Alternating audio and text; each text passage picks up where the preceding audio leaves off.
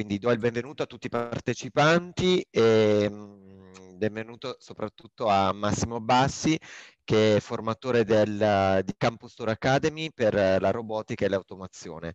Eh, oggi vedremo con lui Industrie 4.0, idee di lezione tra automazione e simulazioni industriali per istituti tecnici.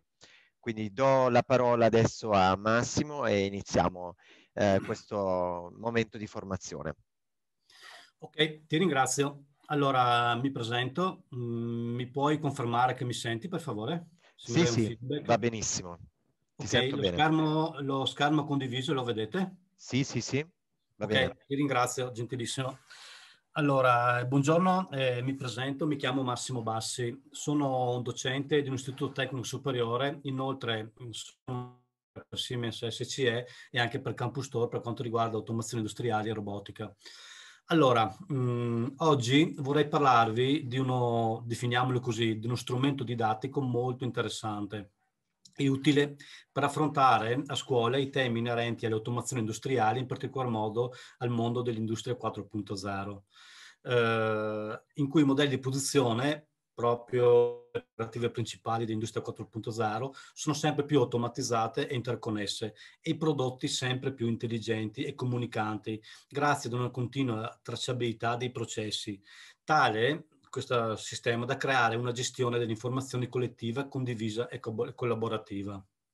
Perciò i sistemi automatizzati, eh, la cosa importante, il messaggio che volevo far passare oggi è che i sistemi automatizzati non saranno più visti come delle realtà isolate, bensì come delle realtà, definiamole multifunzionali, molto flessibili, aperti a sistemi tipi, tipo IoT, ovvero Internet of Things, Cloud Connector, comunicazione basata sul protocollo OPC-UA, che sarebbe un protocollo comune, l'Open Platform Communication Unified Architettura, eccetera. Perciò quello che a me interessava fare adesso con voi era una panoramica per scoprire la costituzione e le potenzialità della stazione Industry 4.0 e poi faremo anche alcune dimostrazioni pratiche. Allora, eh, innanzitutto, se iniziamo a vedere la prima foto, così, okay. Diciamo che la stazione Campus Industry 4.0, come si può vedere già da questa immagine, è realizzata con i materiali della Fisher Technique, che per chi li conosce da sempre sa che sono sinonimo di qualità. Eh, l'integrazione di diversi componenti in metallo tipo del braccio robotico o tutti quanti i laterali dei vari nastri trasportatori o, o, lo scheletro del forno, eccetera, eccetera, che poi vedremo in particolar modo pezzo per pezzo. Ok, eh, sì, eh, diciamo l'integrazione di questi componenti in alluminio assicurano, assicurano una robustezza della struttura e chiaramente anche dando un aspetto che non guasta mai decisamente più professionale. ok.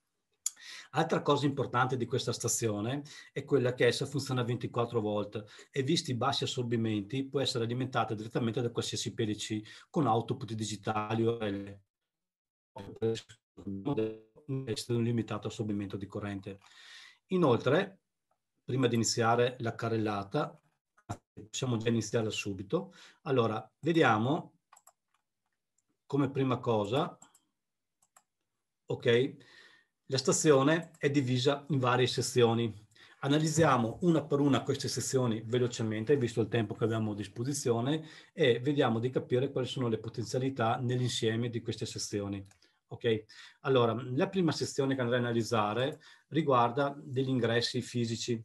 Sono la stazione dotata di due switch, perciò oltre ad essere gestita chiaramente da un touch panel o da qualsiasi sistema di supervisione, abbiamo anche a disposizione due pulsanti fisici completamente configurabili, aperti o chiusi, per iniziare, diciamo, uh, i primi anche semplici utilizzi. Ok? Dopodiché, se proseguiamo, abbiamo la prima vera sezione, che è una simulazione di lavorazioni multiple, ovvero abbiamo un nastro trasportatore con tre fotocellule, abbiamo due lavorazioni, una sezione multiple, ovvero abbiamo una stazione, un, un'isola di lavoro che simula una fresatura e un'isola di lavoro che è questa qua, che simula praticamente, diciamo, una saldatura. Perciò qua vediamo che oltre eh, alla simulazione della saldatura, che poi vedremo come funziona, abbiamo anche la discesa di un cilindro, perciò abbiamo già la gestione di un segnale elettropneumatico. Ok? Allora, eh, poi abbiamo l'altra sezione. Ah, mh, altra cosa importante riguardo a questa prima sezione è quella che in questa parte, lo vediamo meglio da questa foto, in questa parte stavo dicendo, lo vediamo meglio da questa foto, c'è uno switch, un counter. Cosa serve questo? Questo serve già, diciamo, per un, un, primo posizionamento del pezzo sul nastro, ovvero potrebbe già essere un'introduzione molto valida al discorso del posizionamento assi eh, fatto con gli encoder, ovvero utilizzando tipo un conto impulsi eh, di solito interno a un qualsiasi controllore up-down che conta nel fronte di salita o nel fronte di discesa, possiamo fare di posizionamento assi, diciamo un po' rudimentali, però molto utili per eh, avere un approccio a quello che può essere lo studio degli, degli encoder. Ok? Ecco, poi abbiamo un'altra sezione che è questa. Questa qua praticamente è, è sempre una lavorazione che simula, diciamo, una macchina CNC non si vede molto bene qua, però lo vediamo poi nella dimostrazione, d'accordo. Questa macchina è munita di due utensili che oltre a lavorare come una, diciamo, una, una lavorazione semplice, essere usata come una lavorazione semplice, possiamo implementare anche, eh, diciamo, chiaramente dopo un certo percorso didattico, lo studio di segnali PVM dati da questo servomotore. Perciò possiamo fare il cambio degli utensili scusatemi, possiamo fare il cambio degli utensili grazie al segnale PVM. Non è inizialmente necessario. Perché questo? Perché noi possiamo utilizzarlo come una stazione semplice, come una lavorazione semplice. Ok. Infine, per proseguire, abbiamo per mettere in comunicazione le due sezioni, ovvero la sezione, vediamo nel particolare, membro comunicazione, la sezione diciamo dove c'è eh, la, fres- la, lavorazione fresatura e saldatura con la flessione dove c'è la sezione dove c'è la stazione CNC, d'accordo? Abbiamo un carrello che sarebbe questo, abbiamo un carrello trasportatore. Perciò questo qua è già un primo aspetto molto importante di questa stazione. Per questo questa è una stazione multifunzionale. Perché? Perché se noi vediamo nell'insieme questa stazione, i due nastri potevano, le due sezioni che abbiamo citato precedentemente, potevano già essere messe in comunicazione al braccio robotico, d'accordo? Perché il braccio robotico, come vedremo un po' in dimostrazione, può agire sia su questa sezione sia su questa, oltre che nello scivolo, che poi vedremo in particolare, e anche nel magazzino, scivolo d'ingresso d'uscita. Però se noi mettiamo in comunicazione queste due sezioni per fare diciamo, una sequenza automatizzata mh, mm, completa, un ciclo completo di lavorazione, se le mettiamo in comunicazione tramite il braccio robotico, dobbiamo già essere a conoscenza di come funzionano gli encoder, perciò diciamo studi un po' avanzati. Mentre con questo nato trasportatore, d'accordo, questo carrello trasportatore, possiamo tranquillamente fare degli movimenti, delle movimentazioni, perciò fare già dei cicli, dei cicli completi che iniziano ad esempio dalla sezione eh, 1 fino ad arrivare alla sezione CNC, già senza utilizzare diciamo il braccio robotico. Perciò già qua noi potremmo già ricavarci una cosa tipo già una ventina di esperienze, il che non è male. Ok? Benissimo. Proseguiamo oltre. Andiamo a quello che è, eccolo qua, l'altra sezione che è il trattamento termico, che è questo. Questa sezione prevede eh, la simulazione di un trattamento termico. Qua c'è l'attivazione del trattamento termico, ci sono queste due segnalazioni. Premetto, ricordo una cosa, che ogni lavorazione e ogni movimentazione, tipo del braccio robotico o del carrello trasportatore, sono sempre segnalate e sono configurabili da delle segnalazioni. Ok? Perciò, per entrare in questo forno, tramite, diciamo, oh, lo spostamento del pezzo su questo nastro trasportatore, ok? C'è diciamo, una porta che funziona in maniera elettropneumatica, perciò diciamo altro studio di segnali elettropneumatici. D'accordo? Se vedete qua nello sfondo c'è tutta la zona elettropneumatica con le elettrovalvole. Ok?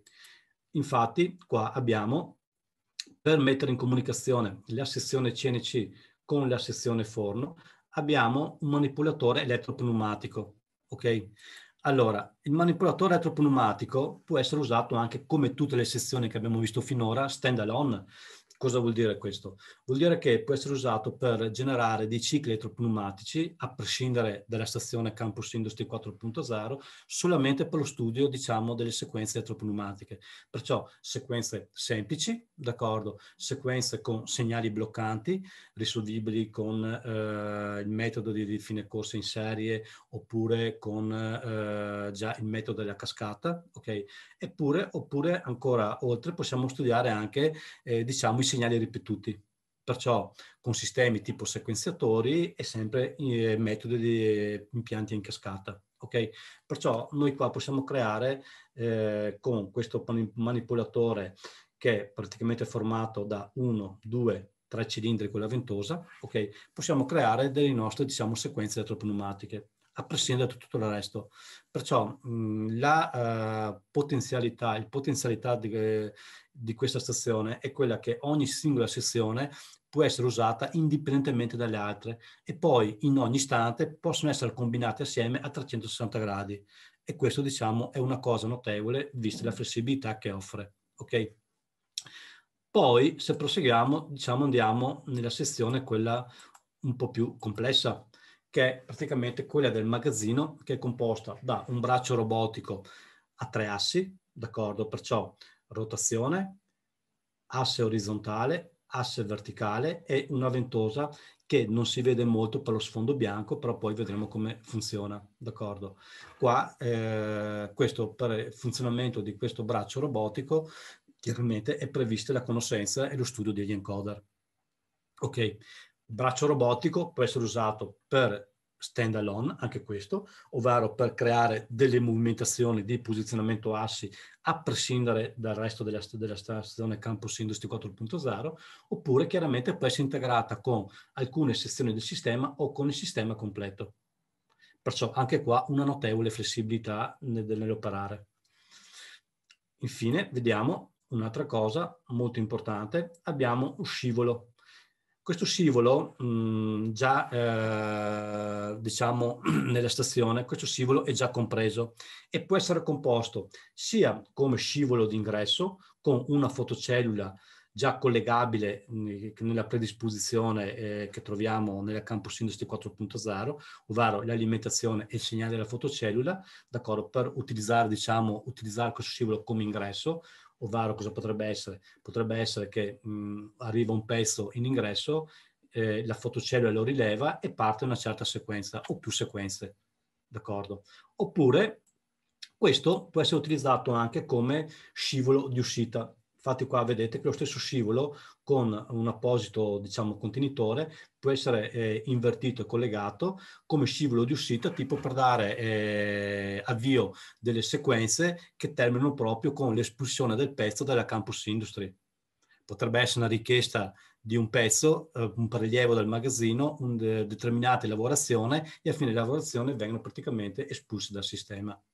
Perciò vediamo la grande flessibilità che è molto importante. Ultima cosa importante, anzi penultima, scusatemi, riguardo sempre le sezioni della campus industry, è il rilevatore di colore, il sensore di colore. Perciò qua parliamo di studio di segnali analogici. Perciò abbiamo studio di segnali digitali in ingresso e in uscita, i più semplici, poi possiamo implementarlo con i segnali elettropneumatici, perciò tutto studio delle sequenze elettropneumatiche che possono essere stand alone, come detto, o integrate col sistema. Infine possiamo avere studio degli encoder, d'accordo? Perciò altro step successivo, studio degli encoder.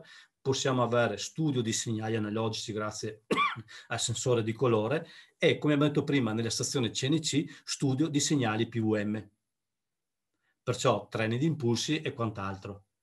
Vediamo che eh, quello che può offrire è molto completo dal punto di vista didattico. Per concludere la carrellata delle funzionalità abbiamo anche una sezione di segnalazioni che è questa. Oltre alle segnalazioni eh, diciamo mh, delle singole sezioni, le segnalazioni delle singole movimentazioni, abbiamo quattro segnalazioni generiche che possono essere configurate a piacimento come emergenza, come stop, come start e via dicendo. Ok? Eh, la carrellata delle funzionalità è conclusa, vi mostro un'ultima cosa che sarebbero le tre schede di interfaccia, per collegare la campus industry, ovvero questo tutto layout della macchina che chiaramente è riportato a chiare lettere sulle, sul manuale di istruzioni, possono essere collegate tramite questi connettori ad innestro con molla oppure tramite questi eh, connettori flat, come vedremo noi poi. Ok, ecco, questa diciamo un po' la carrellata che è, è un po' la carrellata, se diciamo, di tutte quante le potenzialità e i componenti di questa stazione. Adesso, a questo punto, iniziamo a vedere questa stazione dal vivo.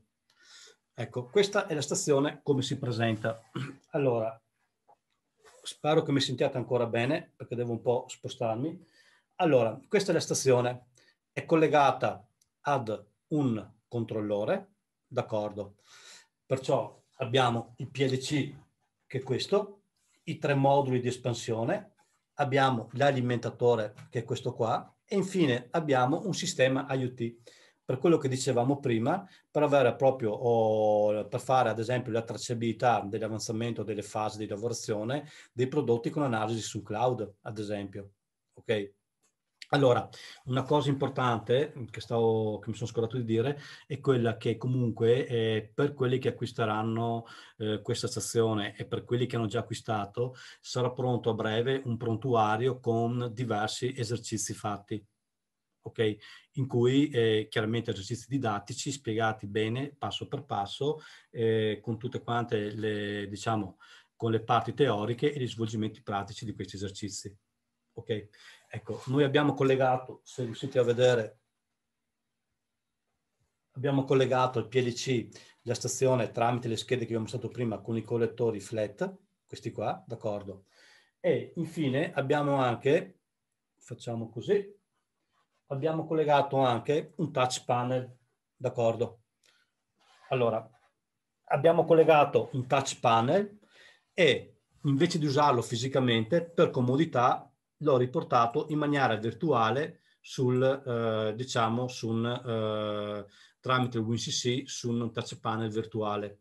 Perciò vedete che questo è lo stesso, ad esempio se voglio entrare nel sistema di funzionamenti di, tar di taratura, d'accordo, posso premere lì, che sarebbe la stessa identica cosa di premere, scusatemi, di premere qua. Vedete che le facciate corrispondono perfettamente. Perciò noi al momento uh, ci concentriamo sull'utilizzo del touch panel virtuale. Ok?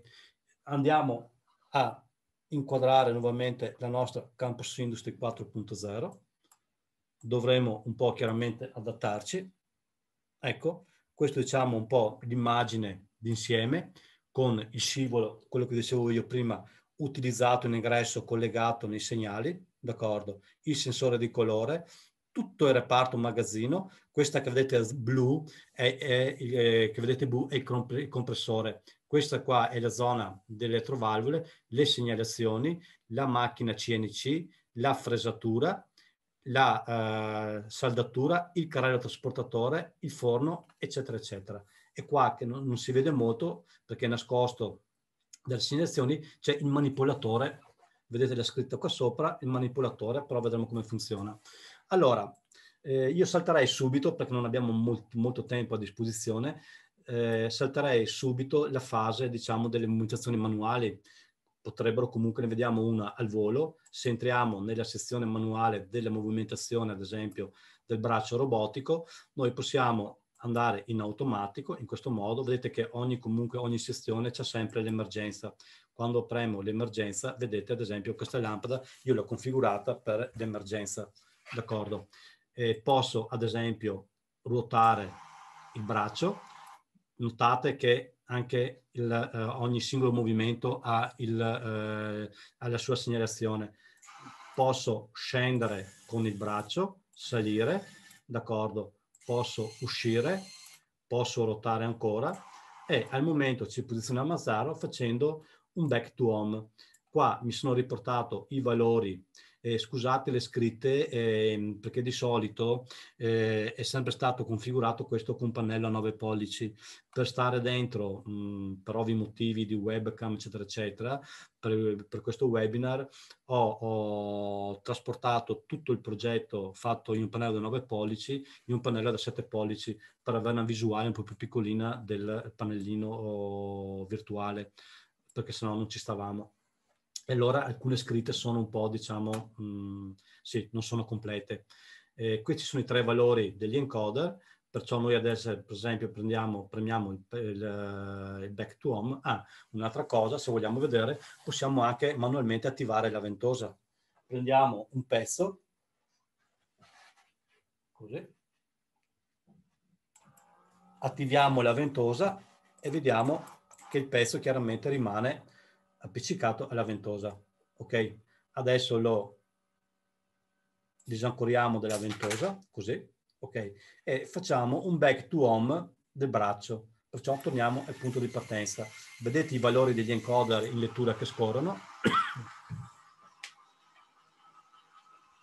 Ok, questo per farvi capire che ogni sezione, in ogni sezione è stata creata una movimentazione manuale. Adesso andiamo subito a delle, diciamo, eh, a dei funzionamenti automatici. Ok, scusatemi. Ok, questo qua. Ad esempio, del primo nastro eh, della prima sezione. Qua possiamo avere, ad esempio, delle movimentazioni semplici, ovvero partiamo proprio dalla più semplice, poniamo il pezzo all'inizio del del, della sezione, così, ok? E la prima movimentazione è diciamo, una movimentazione diciamo, semi-automatica. Attivo questa sezione, arriva, andiamo in, resettiamo il sistema, andiamo in automatico, d'accordo? Arriva qua e poi posso tornare indietro. Questa diciamo, è una delle esperienze più semplici. Perciò vediamo già una movimentazione. Inseriamo ad esempio un temporizzatore per ritardare l'intervento della fotocellula. Ok, perciò possiamo stabilire ad esempio un secondo di ritardo in questo modo, attivare la sessione così, in questo modo, e il pezzo si fermerà un secondo dopo il rilevamento della fotocellula. Vedete? Possiamo andare in una sessione automatica, ad esempio, tipo questa qua, in cui avviamo, arriva alla fine, torna indietro e continua in maniera automatica finché non premo il pulsante di stop. In ogni caso il ciclo si resetta sempre all'inizio. Possiamo creare sempre con lo studio di temporizzatori tipo delle pause di mezzo secondo, d'accordo, tra quando uh, arriviamo oh, nelle fotocellule che determinano i limiti massimi della uh, corsa, mezzo secondo, d'accordo. Possiamo aumentare anche questo tempo, tipo a un secondo e mezzo, così, in questo modo, perciò arriverà, aspetta un secondo e mezzo, riparte e via dicendo. Perciò altre movimentazioni. E infine, quella che dicevo prima, tramite un conto impulsi posso stabilire un certo numero di impulsi, tipo ad esempio 12, così, è attivo in questo modo, scusatemi, 12, ok, enter, e attivo il funzionamento e vediamo che il pezzo, il nastro si ferma dopo 12 impulsi. Perciò se a questo punto io inserisco un numero inferiore, tipo 5, il pezzo torna indietro. Se inserisco un numero superiore a 5, che potrebbe essere ad esempio 15 questa volta, il pezzo torna ad andare avanti in questo modo. Perciò qua sto già facendo un minimo di posizionamento e ho anticipato lo studio degli encoder. D'accordo? Andiamo ad esempio, sempre relativamente a questa sezione, andiamo ad esempio a vedere come sono le lavorazioni. Posso riportare intanto manualmente il pezzo all'inizio, così, ok? E iniziamo a inserire sempre su questa sezione una prima lavorazione, tipo la fresatura, ad esempio con un certo numero di sequenze che potrebbero essere due, d'accordo, e un tempo di lavorazione che potrebbero essere un secondo. Perciò se io avvio questa sezione, così, arriverà alla fresatura, si attiverà due lavorazioni da un secondo e poi il pezzo tornerà all'inizio. Stessa cosa posso fare ad esempio per quanto riguarda quella saldatura. Lasciamo due, due lavorazioni per un secondo e mezzo, arriverà oltre, vedremo che adesso scatta l'apparato elettropneumatico, scende il cilindro e vengono fatte due saldature per 1500 millisecondi, ovvero un secondo e mezzo. Posso combinare le due assieme, ad esempio, in questo modo, con questa sezione che io chiaramente ho già preparato, in cui parte, vengono fatte tre lavorazioni da un secondo e mezzo per quanto riguarda la fresatura e vengono fatte due lavorazioni per quanto riguarda la saldatura, ok, da un secondo e mezzo sempre. Bene, Massimo, siamo proprio alla fine, mancano veramente quattro minuti. Quindi... Posso, far... Sì. Posso far vedere un'altra cosa oppure... Mancano proprio pochissimi minuti e poi abbiamo un altro evento, quindi siamo proprio alla chiusura. Ok, va bene. Bene. Mm, posso scollegarmi? Beh, ringrazio tutti dell'attenzione intanto e chiaramente tramite i canali dedicati per Campus Store, se qualsiasi domanda, qualsiasi cosa abbiate, eh, io sono a disposizione.